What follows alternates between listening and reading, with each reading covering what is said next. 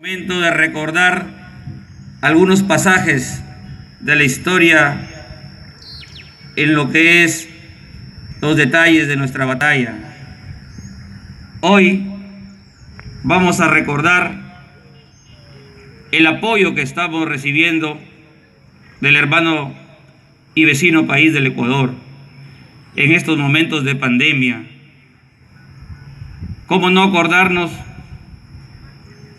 de ese apoyo que nos vienen brindando en darnos algunas facilidades para la compra de oxígeno y otros insumos médicos para poder atender esta pandemia.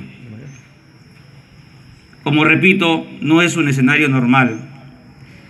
Recordar que somos hermanos, que nos une lazos de sangre, de genética, de amistad, y de comercio.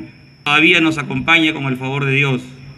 Saludos a este héroe que todavía, como repito, nos acompaña. Este discurso tampoco es lo mismo por el grado de pandemia y las adversidades que estamos pasando.